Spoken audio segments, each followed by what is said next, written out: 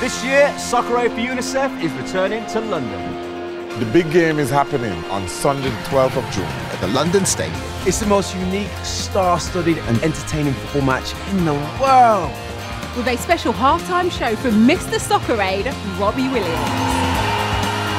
It's broadcast live on ITV and STV to raise as much money as possible for UNICEF. Tickets start from £10 for children and £20 for adults. So what are you waiting for?